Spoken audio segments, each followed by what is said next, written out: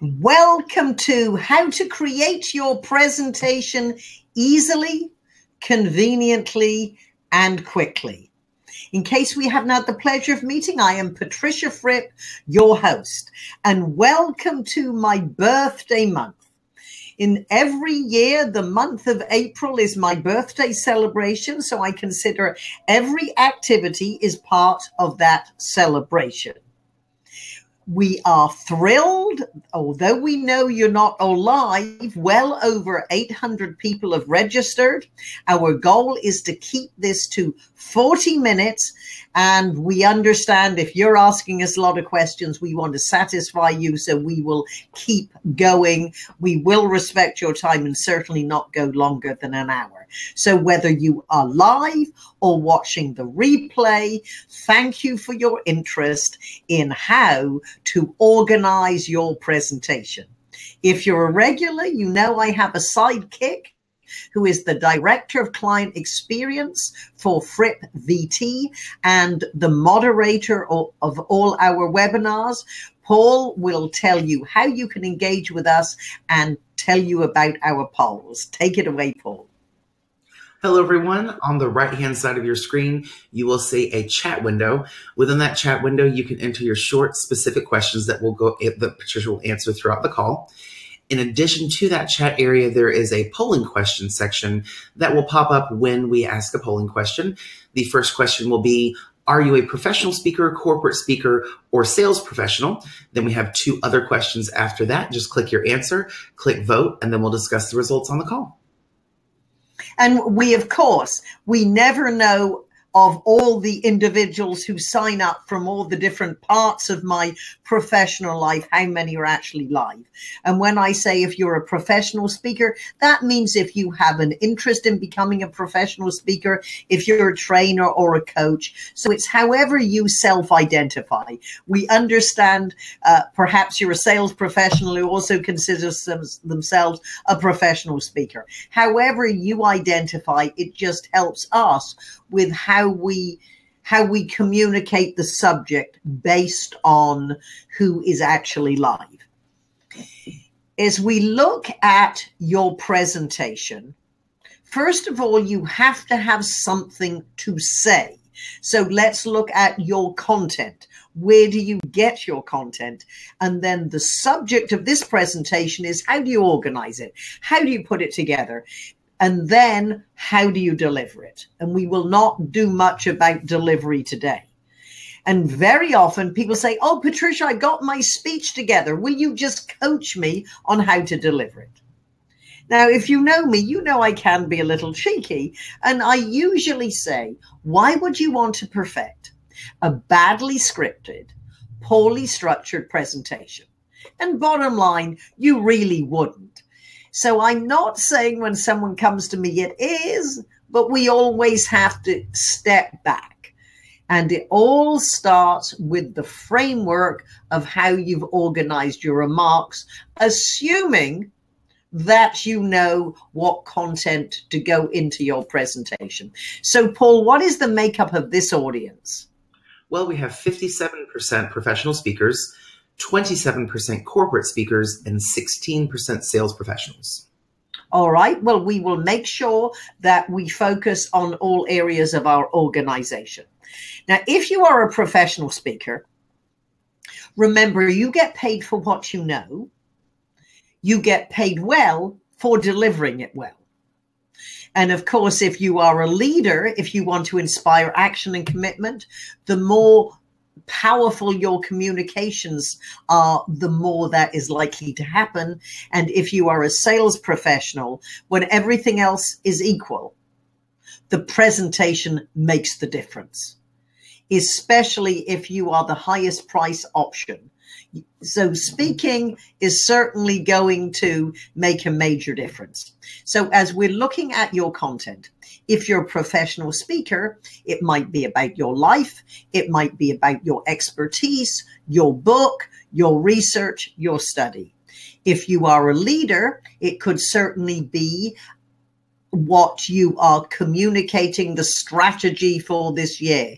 It might be uh, rally the troops. So whatever you you want to communicate, you have to have something to say to organize. As a sales professional, you're talking to your prospects or perhaps ongoing relationships with your customers. The, the way you are going to resonate with your audience before you actually organize your content is to think as an audience advocate. I'm frequently asked, Patricia, what's the number one secret of delivering a presentation of which there isn't one secret? However, if there were, it would be that your subject is of interest to your audience. And that means you have to look at your subject and what you are saying from the point of view of the audience. What are they curious about? What would they want to know? How does your message affect them? If it's in a sales situation, how will their company be better off because of a relationship with you? Now, Paul, we asked where people knew me from to sign up for this webinar. What is that information? Absolutely. We have 61% in person, they've heard you, hmm. 21% they've heard you virtually, 2% other, and 16% it's their first time hearing you. Well, welcome to a hypnotizing experience. So, thank you.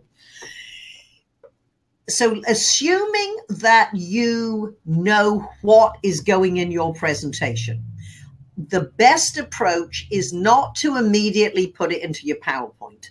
I love powerpoint. I use powerpoint. We will be using a little powerpoint in this presentation. Understand that powerpoint is a visual aid it is not a scripting aid and if you put together your presentation in a PowerPoint, the chances are you're going to have to have more words. Now, for many of my corporate clients, especially if it's a somewhat complex issue and they have a lot of content, and they often say, well, this is for the handout people are going to read it who aren't coming to the session or aren't on the webinar. Well, in that case, you're going to have two versions. You might have the version that you can read and understand, and then the version with less information when you are live.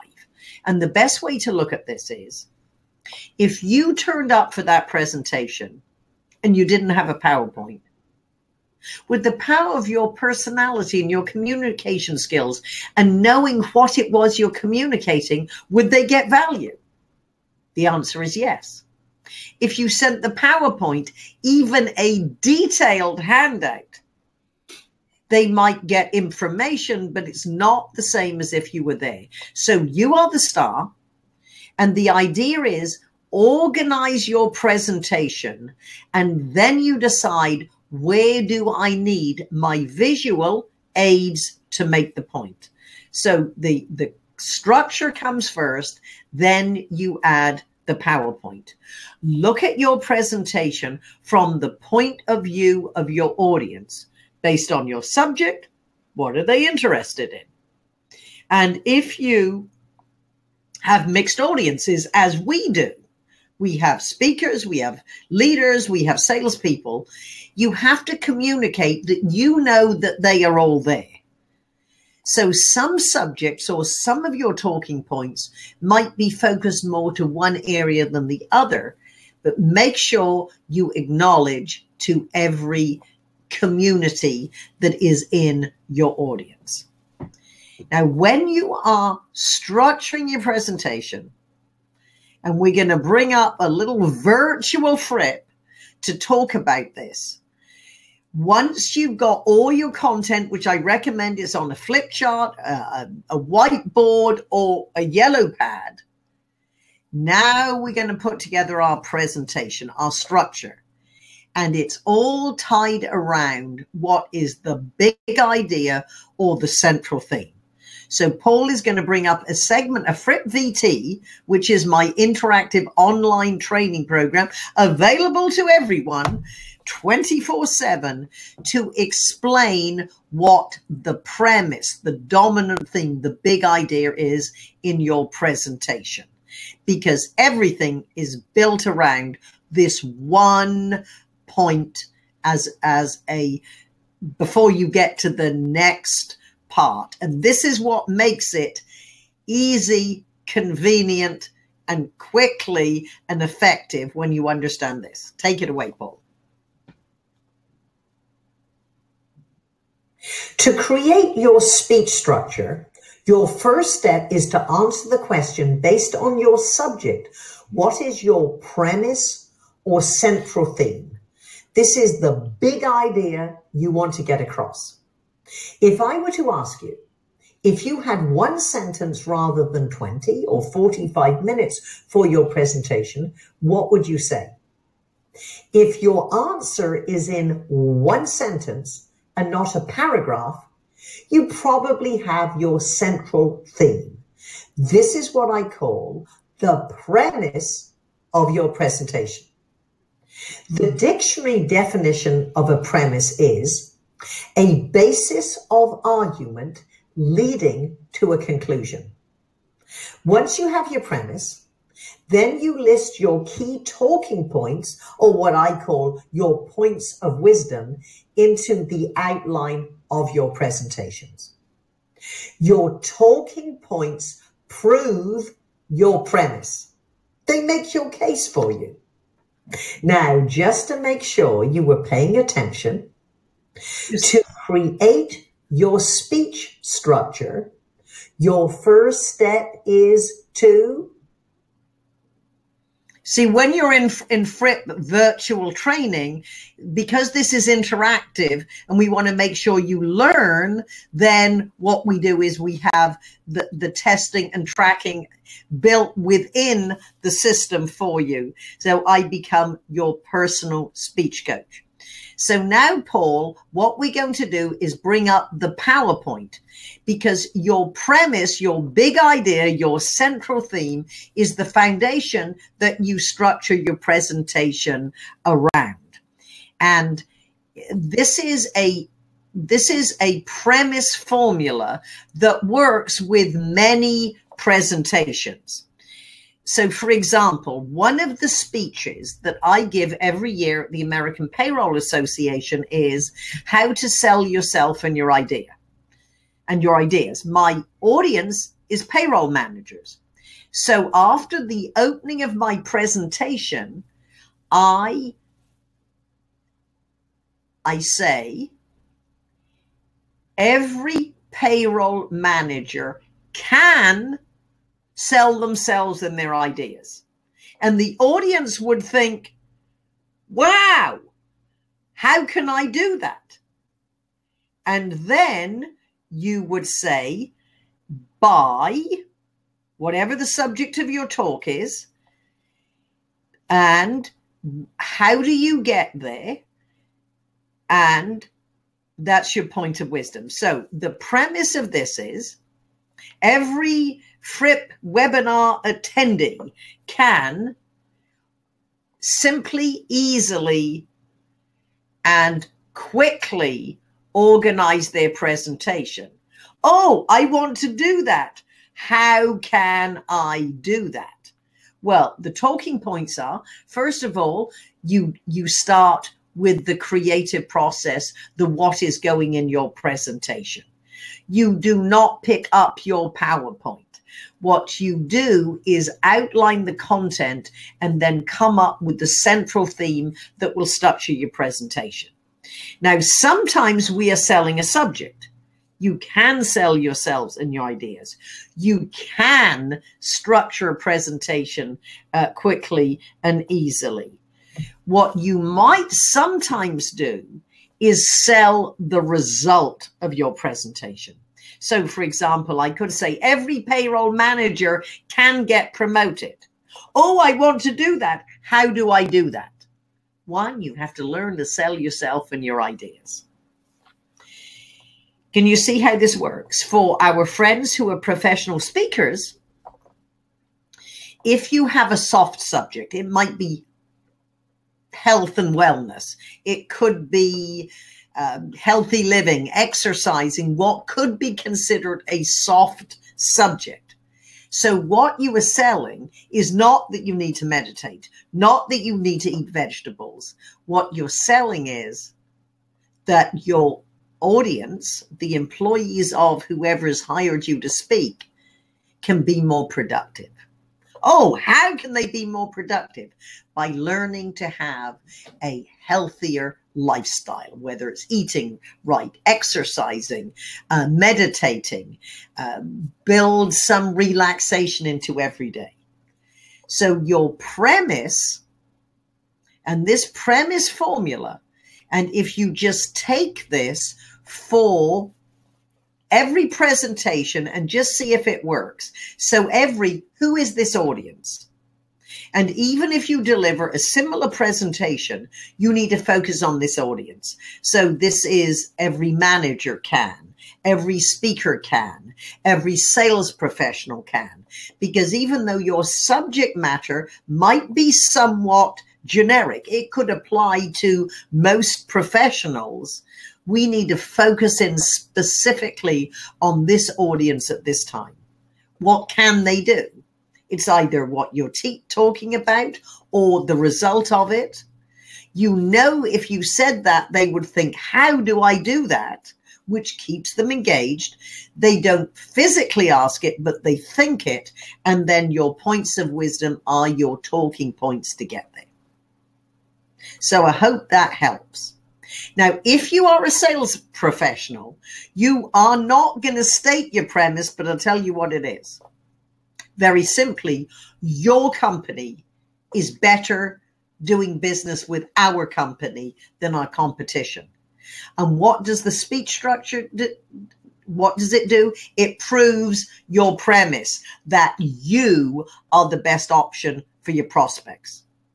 Every movie has a has a, a premise. Every book, every song has a premise.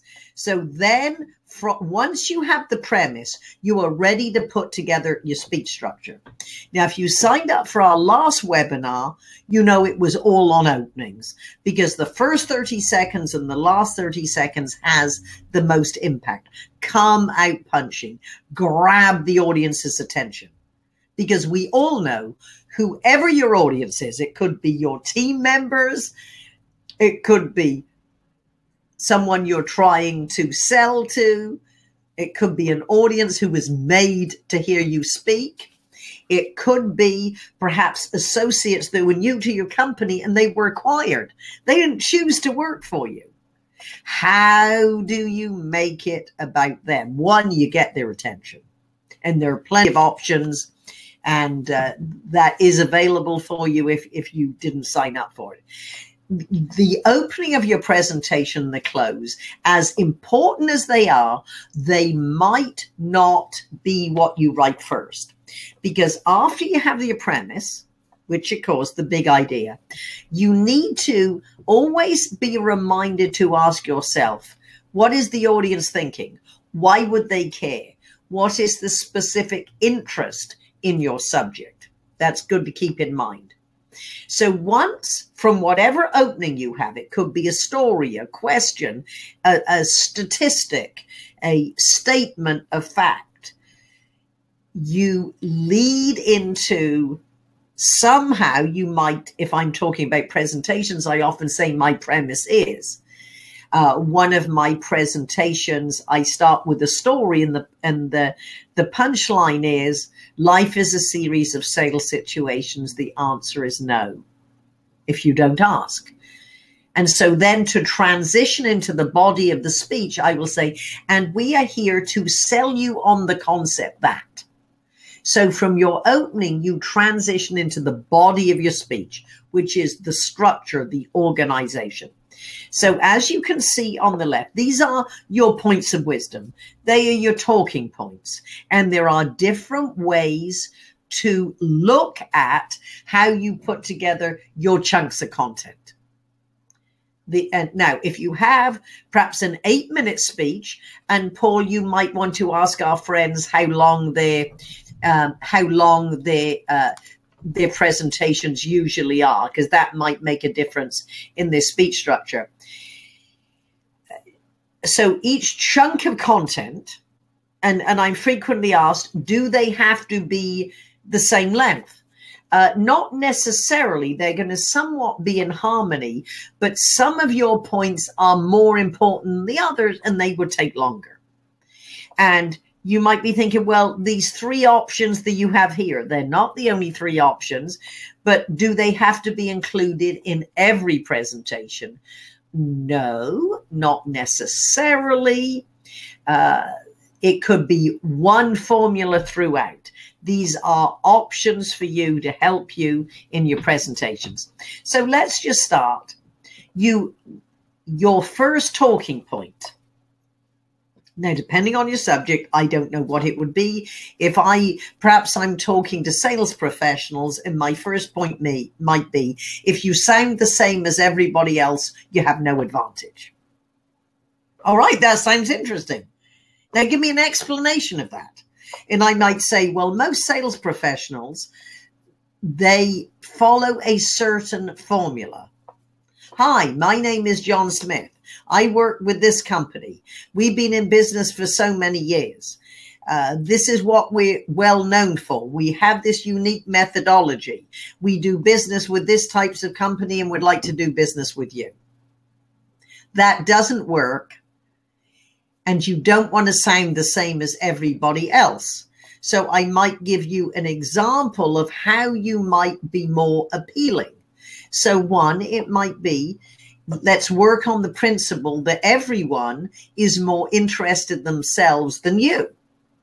So why don't you structure your presentation from the point of view of your audience? You might talk about them before you talk about your company. So it might be congratulations. What are they proud of? And then you might say, thank you for the opportunity to discuss how do, and in a nice way, you're going to say how selecting the ABC company could very well be the perfect choice to help you accomplish this goal. So that might be an example of how you don't want to sound the same as everyone else. You structure it differently. Now, the application, what would I want this audience to do with that?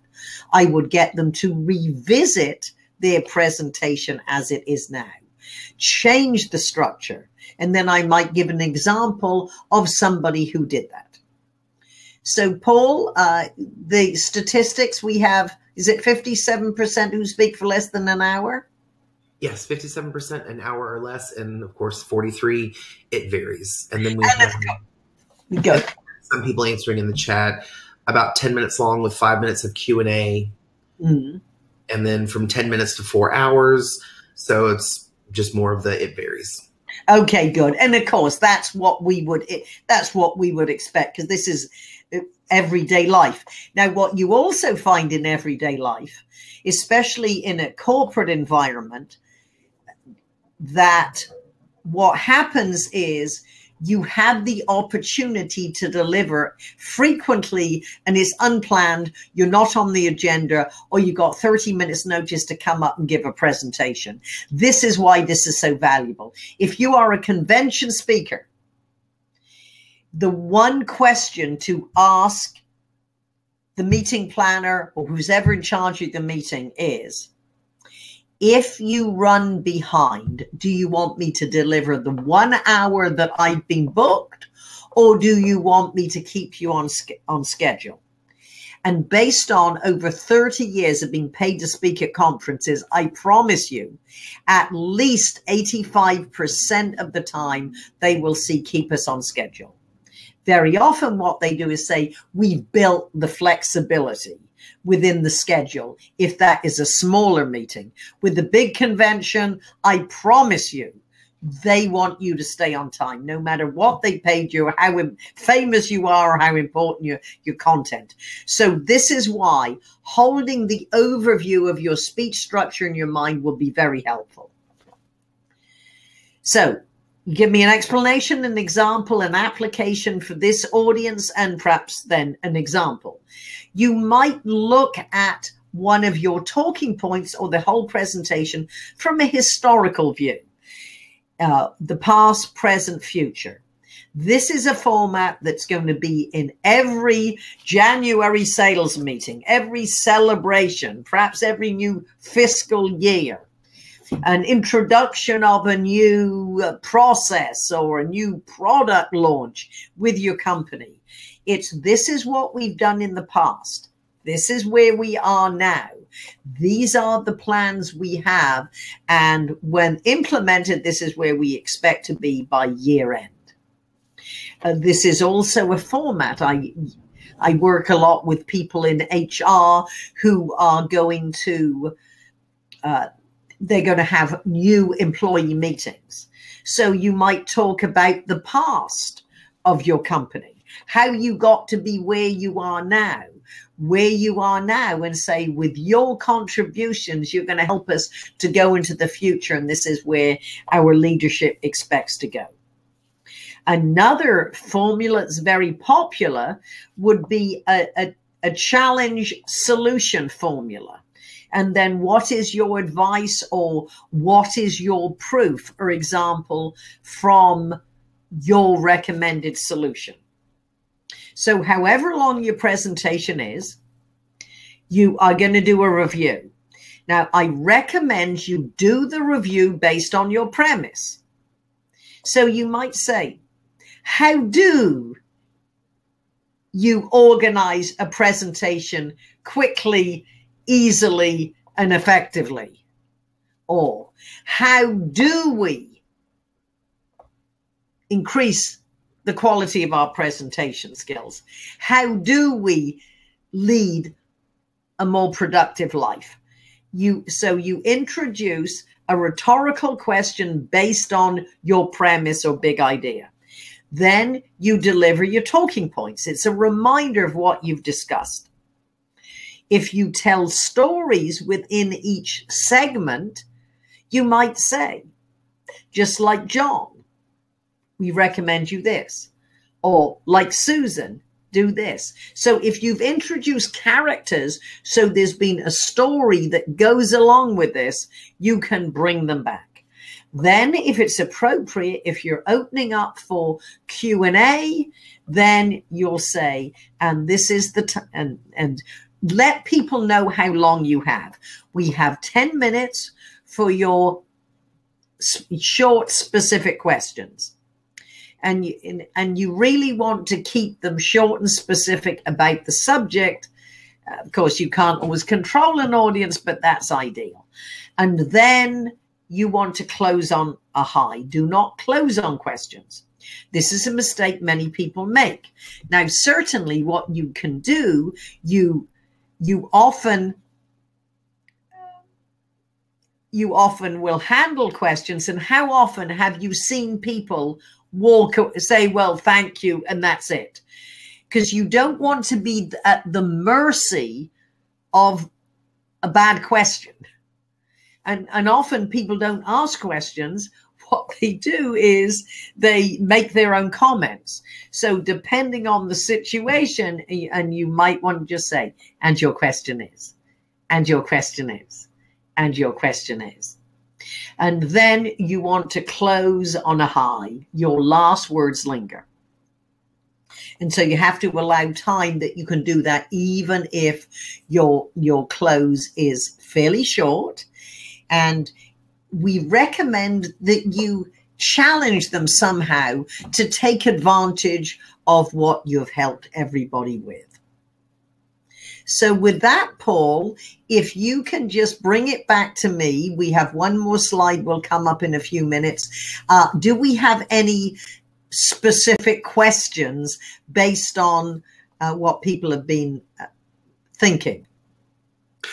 Yes, uh, we have a few questions from first one from let's see here, Tom. Is it helpful to send your PowerPoint info in advance? Well, that depends on the situation. Some organizers want to see it. Now, I recommend that, and, and more and more organizers now, they don't want you to run it off your own computer, they want to have it on their own their own board that the technology people with the big conference uh, who the engineers are going to run it in the back of the room. So in that case, you need to, and you need to always honor all time. So if they say we need it a month in advance, you better have it in a month in advance. Uh, it's a good idea to always take your presentation on some sort of thumb drive or device because once in a while, and we've all had it, for some reason, your computer doesn't work with their technology. I had it a couple of weeks ago. So we had to run it off somebody else's presentation. Now, I use quite a lot of video in my presentation. So ideally, in that case, uh, you need to have it embedded into your slide rather than just attached. Uh, you know, might be in a folder with video clips. Next one.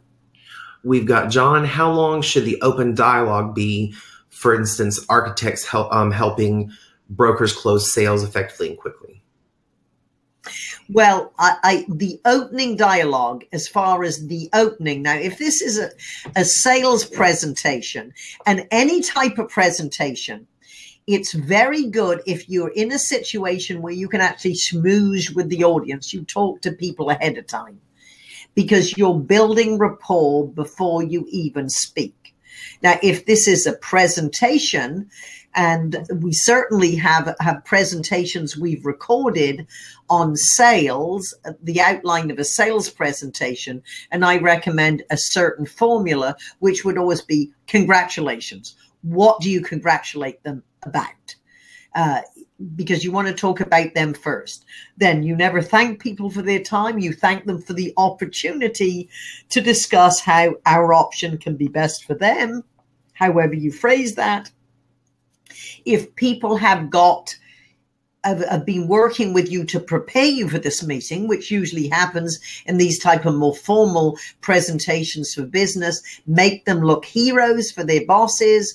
Um, John and Mary have been very, very gracious uh, and generous with their time and information.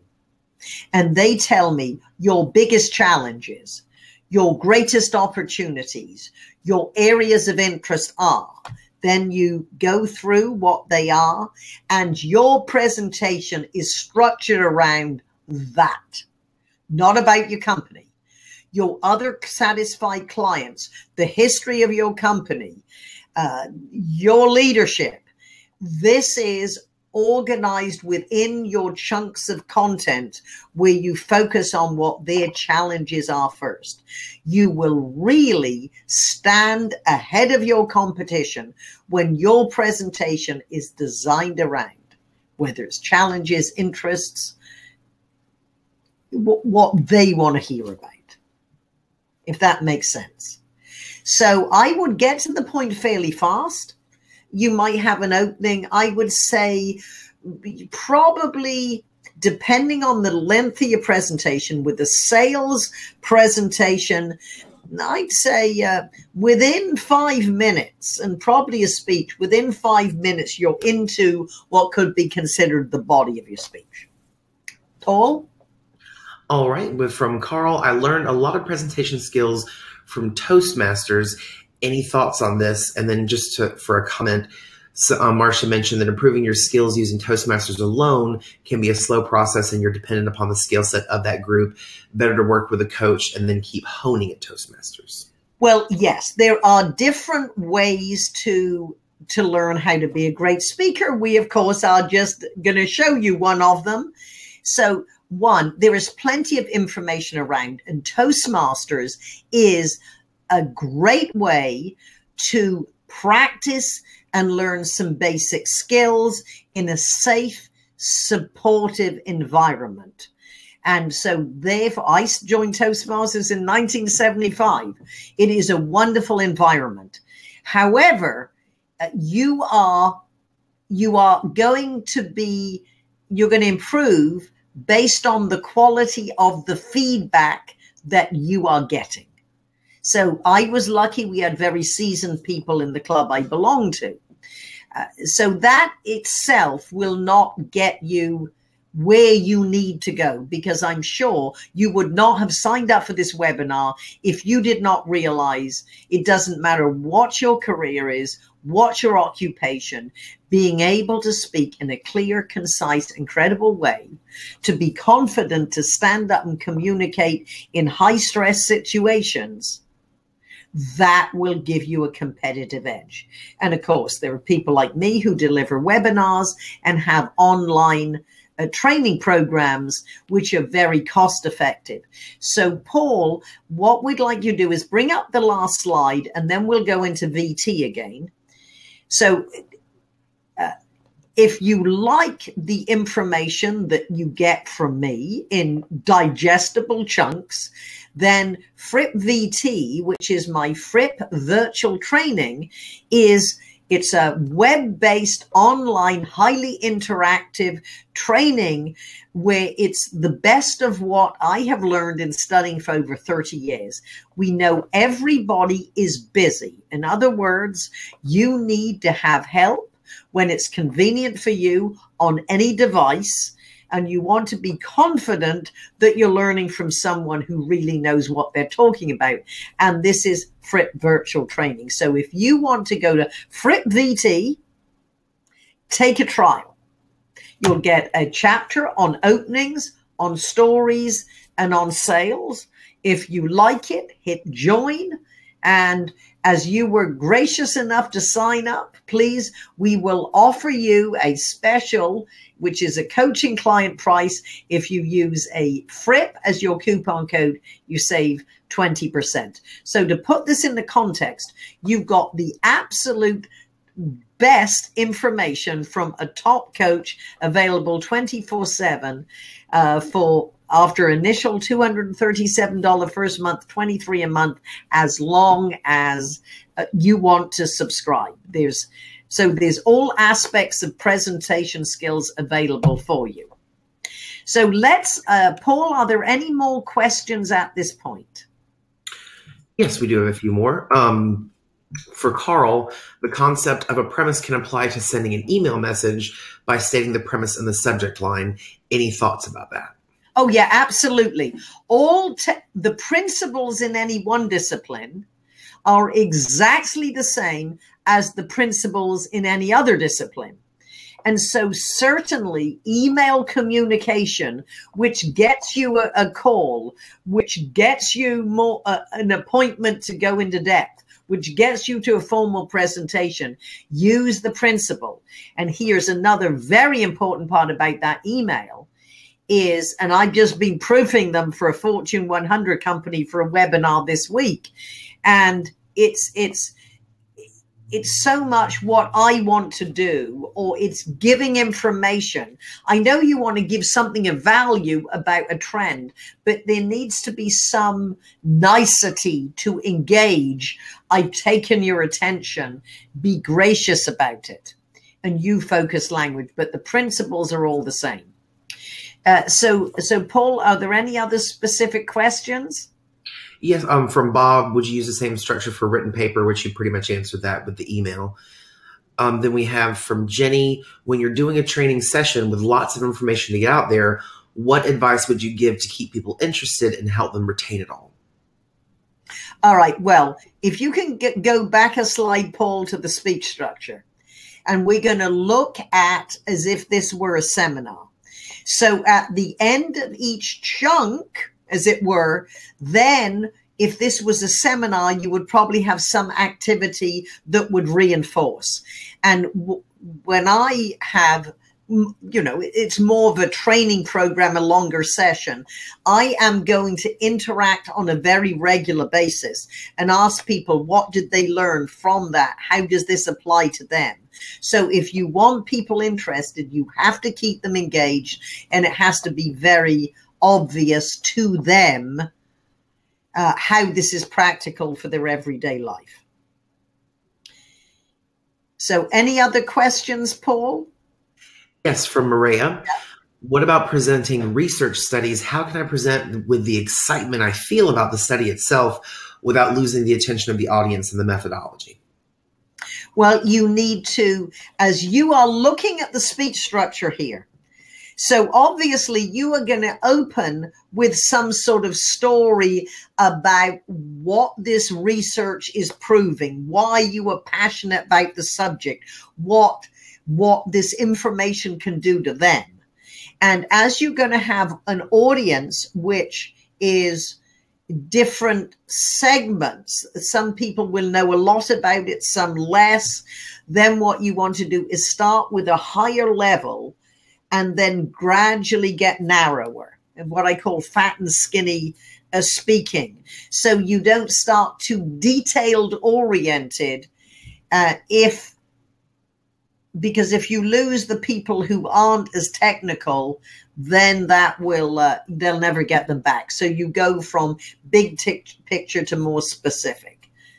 So i hope that helps so paul would you like to go over to fripp vt um, i just have a look and see if there are any other questions uh, okay, we have one for international speech competition uh, using the speech structure. Well, consider an international speech structure. So, Paul, let's go to another chapter within speech structure. And uh, so, with an international speech contest, consider it one chunk of content. So, you've got one big idea, as it were, and then different situations about it. So, it's one chunk of content, it's not all the three talking points and then I will. Uh, oh, someone good, an amazing resource worth every cent about Fripp VT. Good. So we'll just pull. Let's look at um, how about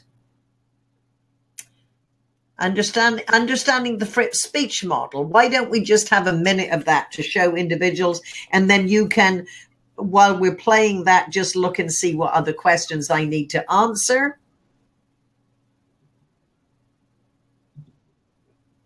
When you look at the Fripp speech model, you will see the circle at the top and the circle at the bottom.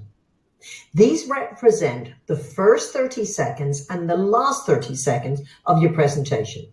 It is important to come out and immediately connect with the audience and close on a high. We don't necessarily write the opening of the presentation first. However, you do need to be aware of how important it is. In movies, they call the opening the flavor scene. The audience will be very influenced by the first 30 seconds to two minutes. We want them to think, wow, this is going to be good. Or, what an interesting approach. Or, this is better than I expected. As you are putting together your remarks, ask yourself, what is the audience thinking as they come into the presentation? All right. Okay, so you see within Fripp VT, we have all aspects. We showed you some samples from structure. Is that is the subject. So Paul, if you bring it back to me. So let's do a quick review. One, your presentation doesn't start in your PowerPoint. It starts on paper, a flip chart. Then when you look at everything that can go in your presentation, what is the big idea, the central theme or the premise? Look at your premise from the point of view of the audience, this specific audience. The premise focus on this audience, even if it's a subject you deliver frequently. Why would they care? Then put together your talking points and calling them points of wisdom reminds you that you have to say something worth listening to. And with stories, examples, explanations, statistics, you build out that point. And don't forget the power of the good story that helps explain the complex issues. You are then, when you've gone through, you're going to do your review based on your central theme perhaps with a rhetorical question. How can we, if it's Q&A, remember you do not close on q&a you're going to close on a high and you might want to look at how did you open in in the beginning to see if there's a way you can tie it around in a circular formula. We encourage you to go to fripp vt as in fripp virtual training on powerful persuasive presentations and at very least take a trial. And remember, if you would like to join our community and enjoy a 20% discount, use Fripp. So with that, uh, I'll just look, Paul, are there some, some more questions we need to address before we wave goodbye to our friends? Yes, we have from Lisa. what is the best way to structure an ask if you're asking for donations at an event? So you're as- asking for donations. Yes. Okay, good. Well, I assume this is then in that case, what I would do, you're going to tell a story about a person who benefits from your charity or your foundation or whatever the entity is. Then you might tell a story about how uh, your organization was founded and why.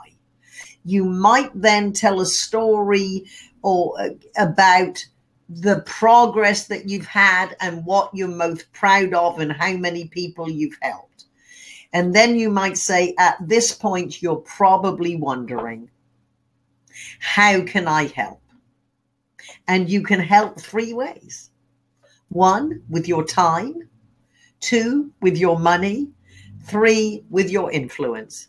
And of course, we would certainly take a combination of them all. So that is the best way to do it after you have emotionally connected with the stories of the people you help and why your organization was put together. And then you might want to close, uh, let people know who they can talk to about more information, take questions, and then you're going to close about one of your most recent or your favorite success stories. Paul? Is the structure different for a one day seminar? If so, how? Ah, well, consider uh, it's very similar, but consider the structure to lunchtime, then afternoon, or it might be, depending, it might be to the coffee break after the coffee break. Uh, depending on the interaction, you'd probably do that in the morning and do the same in the afternoon. Because remember, those circles can go out forever. So it's different examples, different case histories, get audience involvement, get roundtable discussions. But it, it, it is the same. Don't think because you got four days that you can waffle around for the first 55 minutes. You still need to get to the point. And it's good to somehow conclude what's happened in the morning and let them look forward to coming back after the break and then start off well again and then close to go to lunch and leave them wanting more for the afternoon. Paul? All right, then we have this is slightly off topic, but it's a good question. When speaking for free at a conference, how do you ask for future paid speaking commitments? Well, one, in your introduction, uh, you have in introduction, you have it written that you help organizations. So the fact that this is for nothing, that's let somebody else say it. Within your presentation, within the talking points of your structure, you're going to give specific examples of how you help people. And then before your close, after the Q&A, uh, before your close, you might say, now that you have a new best friend who's an expert on presentation skills, uh, if you know any other, if your organization or, or anyone you know could benefit from presentation skills training or online learning systems, please let me know. We appreciate referrals and I'm happy to talk to you, you know, when the session is over and then you're going to close. Next one, Paul. That is, let me double check to make sure that is all we have right now. Well, perfect. Well, we we thank you for your active participation, for being part of my birthday celebration. We uh, when you receive the replay, you will also have the speech diagram blank that you can fill in and help with your own organization and a special report on on that'll help you with your presentation put together. We will continue to communicate with you in ways that can help you improve your presentations and look for invites for other webinars and uh, we'll also let you know some of the popular sessions, obviously on sales presentations and perhaps openings were of interest to you. So you will hear from us in the future. And thank you for those of you saying happy birthday in every language. Uh, thank you very much, Paul, for your help, invaluable help as always. And this is Patricia Fripp, and my last line linger is, and it will tie from one of your questions. And that is you asked, how do you get your audience to remember when you're giving them a seminar? Well, here is a li- dirty little secret from the training industry, which I have made my living in very comfortably for over 30 years. And that is when you have a great speaker, an interested audience, and a subject that the audience wants to hear about and is well communicated, after two weeks, they will have forgotten 70%. The only way you will learn any subject is with repetition and reinforcement in ongoing digestible chunks to make it part of your life. So that is why we recommend that you go over to Fripp a VT. Our members make sure it's a it's a short daily habit, and for new friends, take a trial and see what it's all about. And next time I talk to you, I will be older. Thanks. Repetition and reinforcement.